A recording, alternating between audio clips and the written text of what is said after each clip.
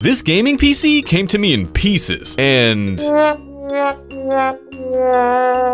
My customer said they took this apart to clean it because it was freezing while playing Valorant. And when they went to start it again, all they saw was this red CPU light. What I'm guessing they didn't see was this GPU cable that barely has a connection, just like you and your last Tinder date. But before I let my tiny raccoon fingers touch this PC, I need to bust some dust. So I bring it out back and blow out the case like you blew through your tax return.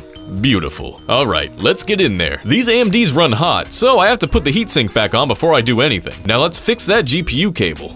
Time to test. Was that the problem? Of course it was, because I'm the greatest technician that's ever- Just kidding, it's still f***ed. But, after I simply reseated the RAM, it worked.